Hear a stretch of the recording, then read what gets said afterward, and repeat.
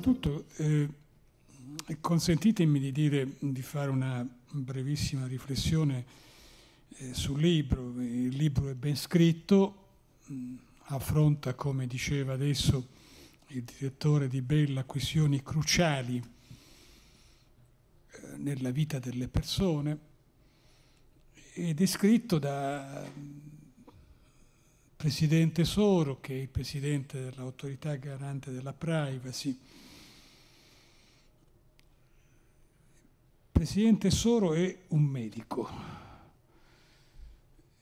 e tuttavia affronta queste questioni con una profondità, una capacità, una conoscenza assolutamente straordinaria. Vedete, una volta c'era un pochino questo vezzo che se uno era medico non doveva occuparsi della sanità, se uno era ingegnere non doveva occuparsi dei lavori pubblici. Ora naturalmente tutto quanto molto è cambiato, come è evidente. E tuttavia l'idea che a un certo punto uno che si è formato e che ha una solida formazione in un campo possa occuparsi di un altro campo è probabilmente qualcosa che rende più forte la capacità della conoscenza. Perché ci mette un elemento che è quello della curiosità, del conoscere e non considerare la questione eh, troppo una questione sulla quale ci si è per lungo tempo cimentati. Si mette in campo, cioè un punto di vista esterno.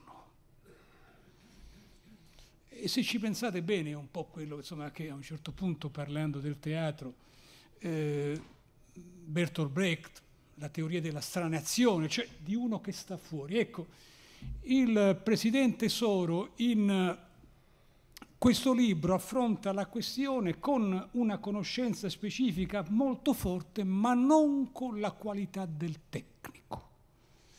Eh, perché il tecnico è portato ad essere eh, a volte particolarmente corrivo con i problemi che la tecnica produce, perché si sente in qualche modo protagonista. Io ho una lunga conoscenza con il presidente Soro e tuttavia non posso mai dimenticarmi il coraggio che lui ha avuto ad un certo punto quando qualche anno fa io mi occupavo dell'intelligence per il nostro paese, mi invitò a concludere il dibattito nella giornata europea della privacy. Insomma, in altri momenti il garante della privacy ci avrebbe pensato cento volte, c'è il dottor Spadaro, perché insomma nel giorno della giornata della privacy europea fare parlare quello che ha la responsabilità dell'intelligence in qualche modo è come affidare le pecore al lupo, è come mettere una volpe nel pollaio. E io ho apprezzato moltissimo eh, invece il coraggio che il Presidente ha avuto. Tra l'altro eravamo in una fase particolarmente delicata eh, nella vita dei grandi continenti, in particolare del rapporto tra Stati Uniti ed Europa.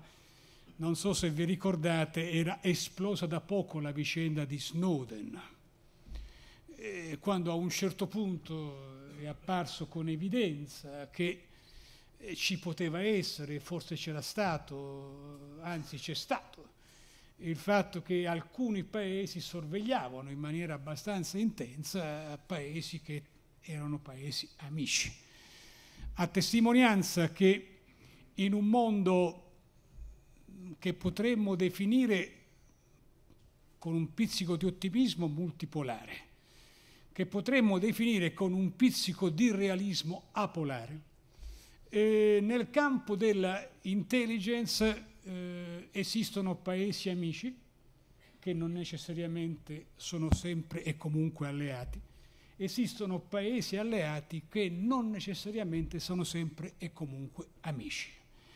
Nel senso cioè che viviamo in un mondo in cui la cooperazione è insieme sempre pensata come un elemento di fortissima competizione e il dato della conoscenza è un elemento assolutamente fondamentale. Chi conosce sa, chi sa conta, eh, chi non conosce e non sa conta relativamente poco. Posso dirvi una cosa semplicissima, questo è un campo nel quale è difficile andare avanti per raccomandazioni, e soprattutto posso aggiungervi un'altra cosa, che alla fine se uno bleffa viene scoperto. Si può far finta di sapere, si può far finta di avere conoscenze ed informazioni, ma alla fine se uno non ha la concretezza del dato, finisce per, tra virgolette, essere rapidamente preso con le mani nella marmellata. E qui tuttavia si pongono due grandi questioni. La prima questione che è stata posta eh, con grande forza dal direttore di Bella, e cioè che a un certo punto e se ci pensate bene, anche questo è il cuore della vicenda di Snowden. A un certo punto, di fronte alla sfida drammatica del terrorismo globale, di fronte al fatto che ci si trovava di fronte ad una minaccia veramente straordinaria, nel senso che usciva fuori da qualunque canone ordinario, di fronte al fatto che tu avevi per la prima volta nel 2001 realizzato quello che era stato per lungo tempo eh, lo slogan del maggio francese, io non so di chi voi se lo ricorda, c'è uno slogan straordinario del maggio francese che era appunto questo, eh, compagni siate realisti, pensate l'impossibile. E nell'11 settembre del 2001 Al-Qaeda era stata realista, pensando appunto l'impossibile, e cioè l'idea di colpire... Ah no, pensavo che fosse un biglietto a me, no, no stavo, mi stavo immediatamente uniformando perché sono una persona disciplinata, se non gli passo un biglietto io l'avrei immediatamente letto e cercato di eh, dare immediatamente una risposta. Era siate realisti, pensate l'impossibile, cioè tutto quello eh, che appariva come impossibile era stato di fatto realizzato. Ed era talmente impossibile che quando all'intelligence americana giunse qualche notizia sulla possibilità che c'era un gruppo di terroristi che si stava addirittura addestrando per prendere il brevetto di pilota eh, con l'idea non di dirottare un aereo, ma di prendere un controllo dell'aereo e farlo diventare una bomba da utilizzare contro obiettivi fissi, eh, la stessa intelligence non ci credette, lo sottovalutò. Pensò che non fosse una cosa impossibile. Ecco, di fronte a questa minaccia così radicale che poi si è perseguita nel tempo con l'evoluzione da Al-Qaeda Islamic State, si è a un certo punto ragionato su un elemento.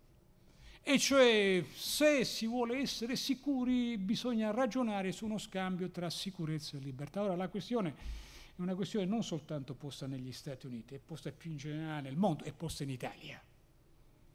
Diciamoci le cose con una certa franchezza, questo è anche un pochino un pezzo della discussione che stiamo facendo adesso. E sarebbe da parte nostra non sincero non dirlo fino in fondo. Io penso personalmente che su questo terreno non ci possa essere dubbio alcuno, questa è la mia idea, e cioè che in una democrazia non è possibile in alcun modo uno scambio tra sicurezza e libertà, per una ragione semplicissima. Perché se una democrazia accetta questo scambio viene meno ad un principio fondativo della ragione d'essere di una democrazia. E nel momento in cui si dice diminuiamo la libertà per aumentare la sicurezza, di fatto eh, si dà una ragione ai terroristi. E cioè i terroristi pensano che il loro attacco debba servire per snaturare le nostre democrazie. La forza di una democrazia è combattere il terrorismo senza perdere se stessa. Ma tutto questo non è una formulazione di principio, è un dato un pochino più concreto, e cioè nel senso che in Italia lo abbiamo fatto.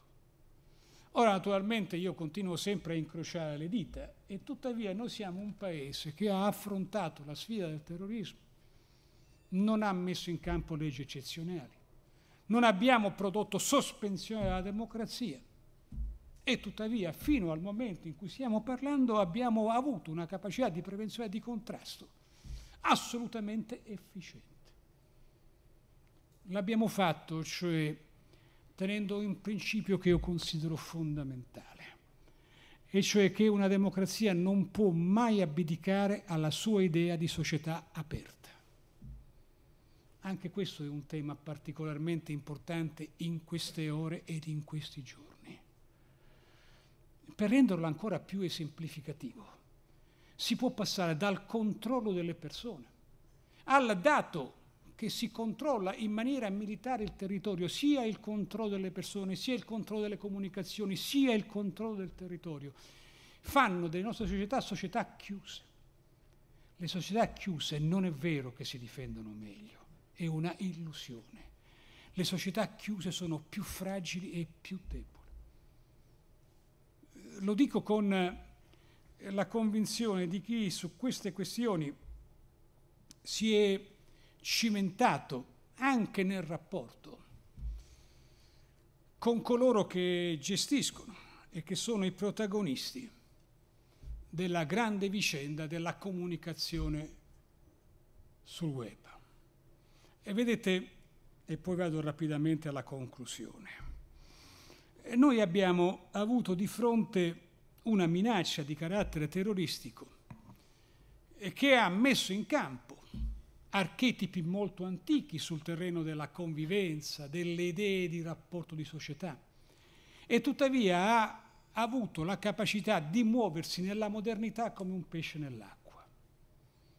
Se qualcuno oggi mi chiedesse, da ex ministro dell'interno, da ex responsabile eh, della intelligence del nostro paese, quanto è ampia la rete di Islamic State del mondo, io dovrei rispondere con una risposta che può apparire sibillina, ma sibillina non è.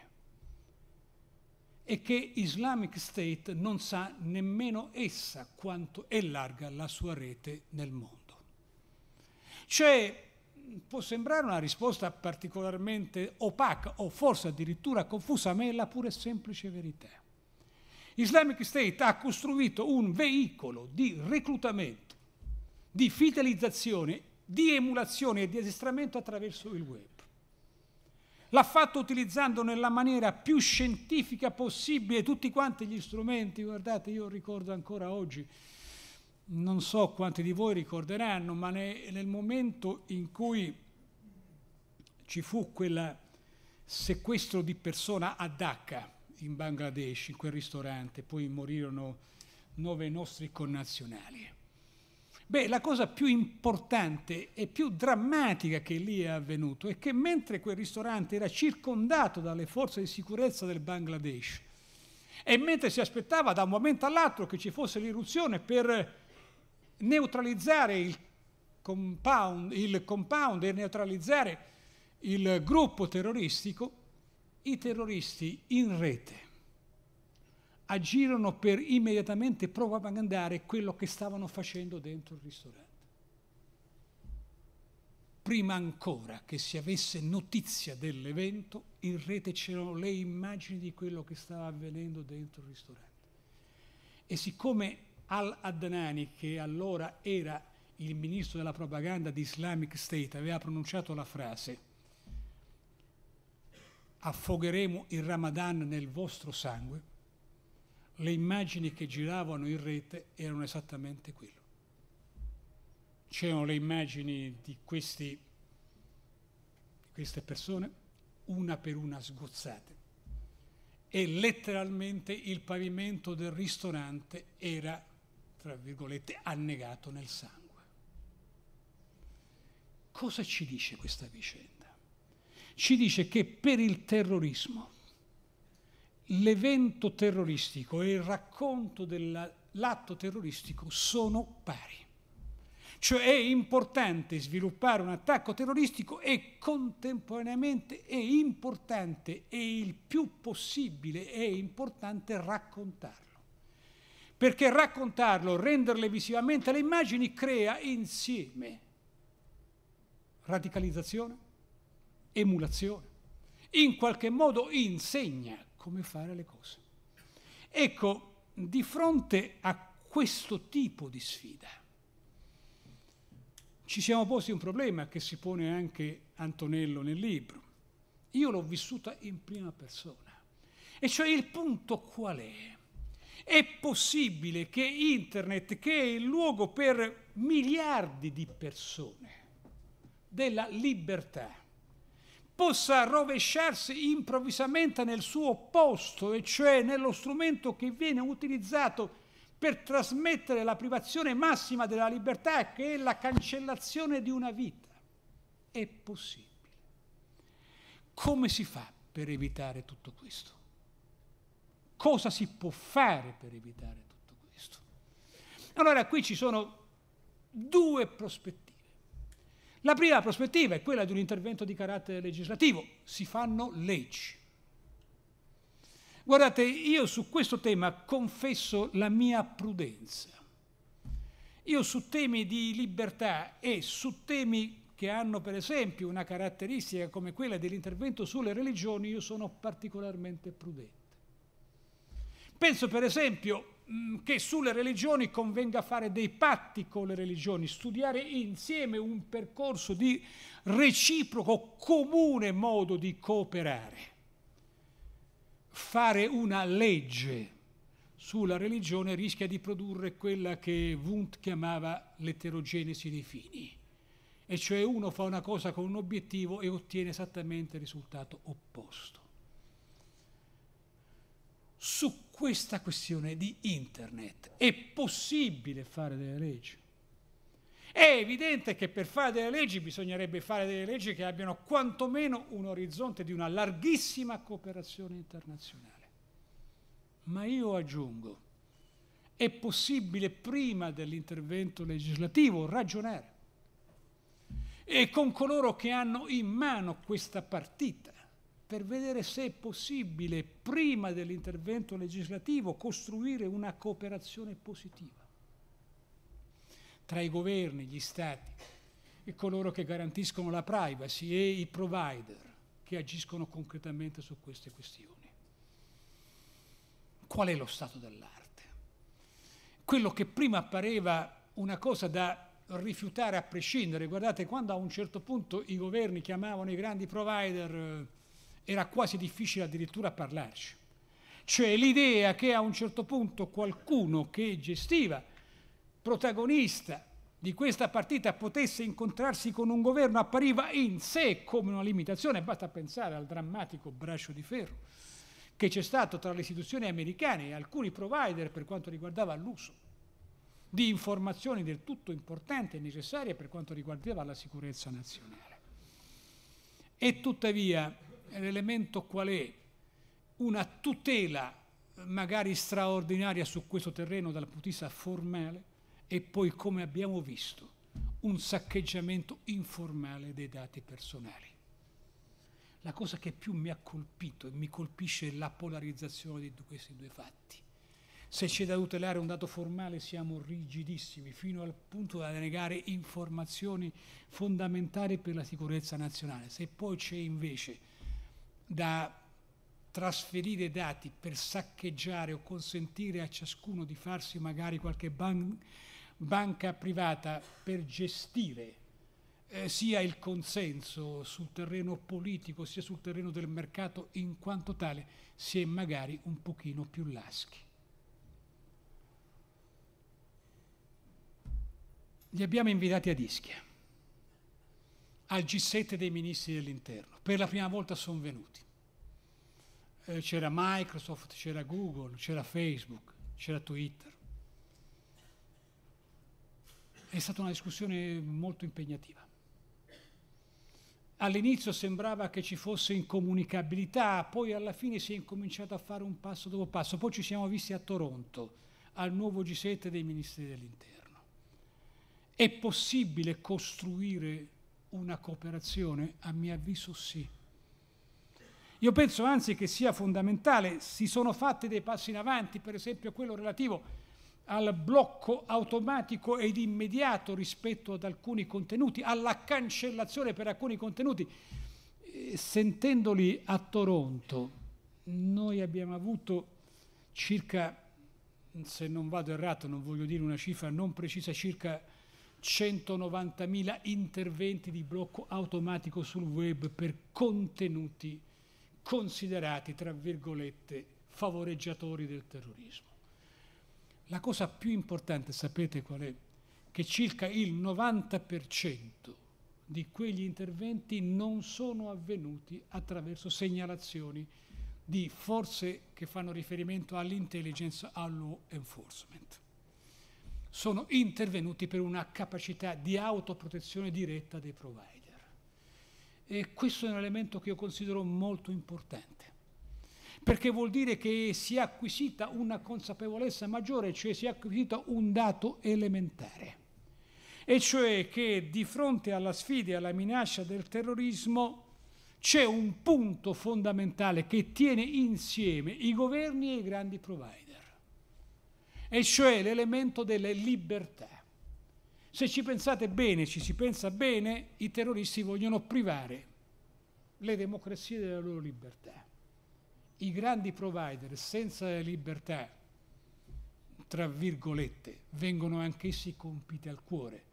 Ci può essere, tra virgolette, una non convenienza economica e tuttavia c'è una straordinaria convenienza di strategia e di profitto intellettuale. Infine, consentitemi di finire con due brevissime considerazioni. Il punto cruciale del libro è un capitolo che il presidente Soro intitola Un equilibrio difficile ma necessario. È il tema del governo delle situazioni complesse è possibile lasciare tutto quanto all'andamento naturale delle cose? Il Presidente solo dice di no. Naturalmente sa perfettamente che stiamo discutendo di questioni delicatissime ed è appunto per questo l'equilibrio è difficile. Ma l'equilibrio è difficilissimo, ma è altrettanto necessario. E lo diciamo nel momento in cui come si è visto con Cambridge Analytica, può succedere esattamente un principio di rovesciamento, e cioè che il luogo principe della libertà diventa un luogo del condizionamento del pensiero. Noi sappiamo perfettamente che il principio del rovesciamento purtroppo è immanente in tutte le cose che l'uomo fa poi più complesse e più raffinate queste cose sono, questo è più è facile che questo possa avvenire. Il filo è veramente sottilissimo. Ed è per questo che è importante che ci sia insieme un equilibrio difficile, ma che l'equilibrio debba essere a tutti i costi garantito. Infine ho concluso. E vedete, se ci pensiamo bene, eh, noi abbiamo di fronte un grande tema, ed è lo sfondo sul quale si muove il libro del Presidente Soro. E cioè lo sfondo è esattamente questo, qual è il rapporto tra scienza ed etica. È necessario mantenere sempre un rapporto tra scienza ed etica? Io penso decisamente di sì. Non ho mai creduto a un'idea della scienza che sia del tutto sganciata da un principio etico la separazione di questi due temi, il conflitto tra questi due temi porta a soluzioni perniciose per l'umanità. È un tema antico che a un certo punto ha trovato, per esempio, una discussione particolarmente impegnativa tra due grandi personalità del mondo della scienza contemporanea. Uno era Alan Turing. Alan Turing è quello che ha scoperto e ha decifrato il codice Enigma. Eh, ricorderete, durante la seconda guerra mondiale era il codice che consentiva ai tedeschi di trasmettere attraverso un cifrato le, i comandi alle unità eh, che operavano nell'Atlantico, ai sommergibili che operavano nell'Atlantico. A un certo punto gli inglesi vengono in possesso della macchina ma non riescono a capire cosa c'è in quella macchina. Alan Turing ci lavora su con un gruppo, alla fine trova la soluzione. E arriva ad un punto eh, che, tra virgolette, incomincia ad accarezzare veramente eh, l'idea della superiorità della intelligenza artificiale sulla intelligenza umana. È una discussione che lui ha avuto qualche anno prima con Wittgenstein. Wittgenstein era un grande matematico. E c'erano su questo posizioni un pochino differenti. Alan Turing, come voi sapete, finì drammaticamente. finì drammaticamente, talmente drammaticamente che il Regno Unito, che non è solito chiedere perdono, molti anni dopo chiese perdono per quello che era avvenuto. Il salvatore del Regno Unito, il salvatore delle grandi democrazie occidentali, era stato poi perseguitato e perseguitato drammaticamente per le sue tendenze sessuali. E finì così, drammaticamente una storia che aveva illuminato il mondo. Era sì un'altra epoca e tuttavia fu una ferita difficilissima ed è ancora tutt'oggi una ferita difficilissima da poter rimarginare. E tuttavia, pur sostenendo quello che Alan Turing ha fatto per l'umanità, pur considerando assolutamente incommensurabile il contributo che lui ha dato allo sviluppo della conoscenza e della intelligenza umana. Appunto perché la penso veramente così e appunto perché c'è stata quella sua drammatica fine di fronte al quesito che Alan Turing si era posto l'intelligenza artificiale può a un certo punto dominare l'intelligenza umana? La mia risposta, naturalmente, con il beneficio di una conoscenza limitata, è no. Io non mi rassegnerò mai un mondo, ad un mondo in cui l'intelligenza umana sia, tra virgolette, una variabile della intelligenza artificiale.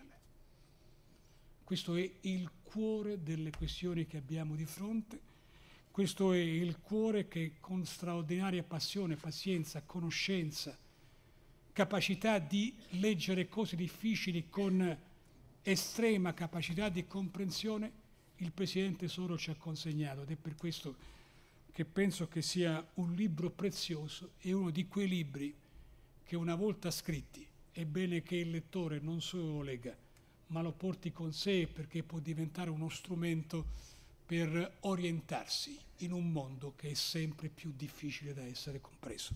Grazie.